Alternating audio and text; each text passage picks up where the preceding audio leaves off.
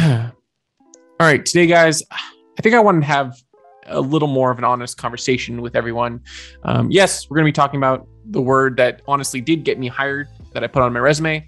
Uh, but I really wanted to take this back. And as business people would say, bring this up to 10,000 feet. A lot of you that are subscribed to my channel either are already in the industry want to break into data engineering, or some of you are just getting out of college. And that means a lot of you are trying to get your first job. And, you know, putting myself back in those shoes, remembering what it felt like um, to try to get my first job, I remember it was just terrible. Like, I spent months, like I think almost a full year, applying for jobs and not even getting interviews. You know, like everyone else, you could probably, if you calculated how many applications I put in, it was probably uh, easily hundreds of, of applications, many of which didn't get any form of response. And it felt hopeless. And so, like everyone else, I looked for different ways I could possibly, you know, improve my resume. You know, I took Coursera courses. I I tried to build projects. I I try to do everything, right? So when I see people asking me for like direct examples of projects, you know, I'm I'm always kind of curious, like what the goal is there, because often what you'll find when you start working in the industry is that people will give you data sets or problems and just kind of expect you to find value in it. You know, the following direct, you know, line by line instructions for code will not help you here.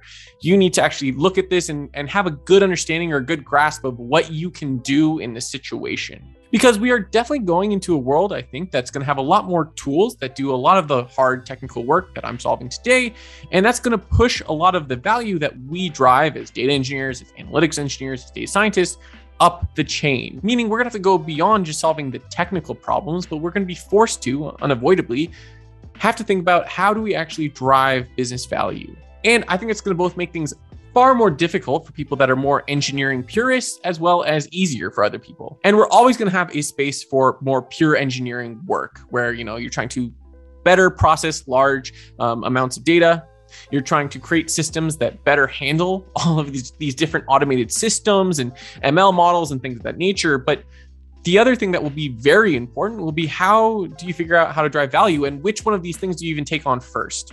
And that's where, if, for example, in my last video, when I give you examples of data sets, that should be a great foundation for you to practice those skills of, well, we have this data set what can I do with it? I guarantee you that the person that created uh, the Elon Musk bot, I think he's a CS student, probably has job offers because of this bot that he created. I mean, it's not even arguably that complex to, you know, create something that scrapes uh, flight data and then push it to Twitter. It it probably is very simple, but the idea was fun, and I think that's where you should be focusing on.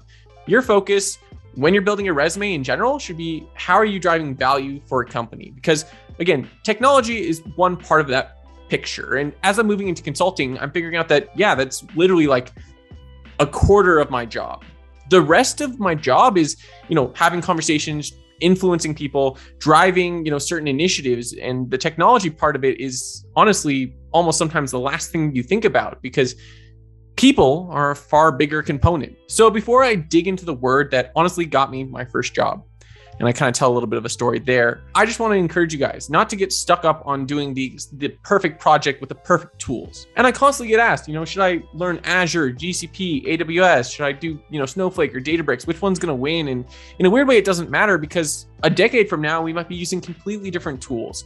But the one thing that doesn't change is trying to find value in situations, whether you're trying to figure out how to automate a process or whether you're looking for cost saving opportunities or ways you can like create more revenue for your company, because those in a weird way don't change because there's a common denominator, which is us, the people. The technology often changes, but we don't. The way we act as people, the way, you know, we respond to everything from ads to sales to, you know, everything else is about the same. So driving value will arguably always remain consistent, and the tools you use to drive that value are what's going to change. So I would worry less about trying to pick the right tools that are going to be used in the next 10 years, because honestly, most of us have no idea. And honestly, the tools that I learned 10 years ago are not the tools that I'm working with today. But the one thing that has remained the same was the word on my resume, which was automation. That that was the word. Like I literally had the hiring manager come and talk to me, and, you know, like, hey, this is why we actually looked at you. This is why we cared. Um, he's like, you had the word automation on your resume. And so I wanted to do a ton of automation projects. So I figured you would know how to do it. And honestly, all the skills that I had on that resume or how I automated, like if I told you how I automated uh, the projects at school, um, it was literally uh, an Access database. We are using JavaScript through Internet Explorer. It was the weirdest, most, I mean, nicely put garbage way to automate anything in the world. But they still looked at my resume because they didn't look at my technology. They looked at the value I could provide. They looked at the fact that I understood kind of the concepts of automation and not the tools of automation because again automation changes you know back then i think we were using like vba now i'm using python you know I, but i learned java in, in school and we use javascript to automate so worrying about the tools is less important figuring out how to drive value that's what's going to get you the job i mean i just think back to then when i was trying to get my first job um, again i'd been spending maybe nine months looking for this first job and on that day that I happened to apply for this job, my parents had happened to be resanding their floors. So we had to leave the house because they were, uh, you know, putting chemicals on the floors all over again and, and refinishing it. So we had to sleep outside in a tent. And my dad, who just happened to look over my computer and, you know, I was looking through jobs, I was going for jobs. And he's like, well, why don't you just apply to this one? And he pointed to Providence Healthcare and Services. I was like, fine, I'll, I'll, I'll apply to this one.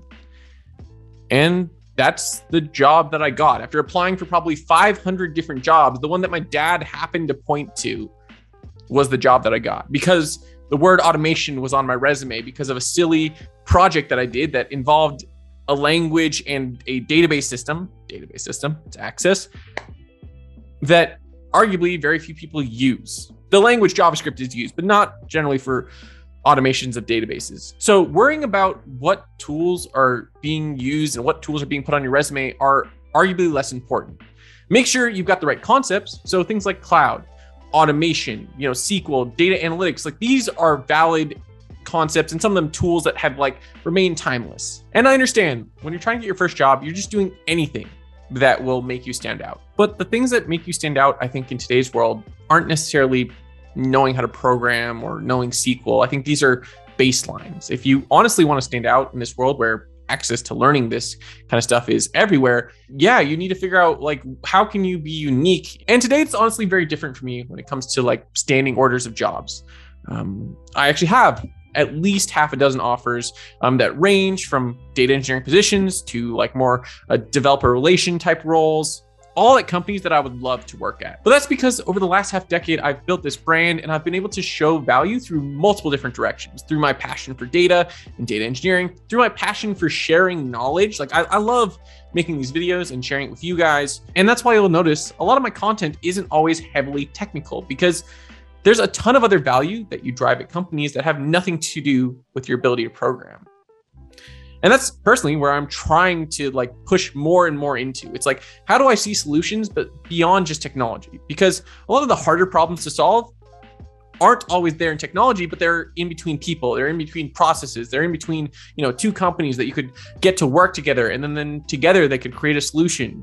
And those are arguably personally more difficult problems to solve technology problems are always difficult but i feel like sometimes at least most of the time unless you're trying to do some sort of groundbreaking, you know, research have a pretty clear-cut answer.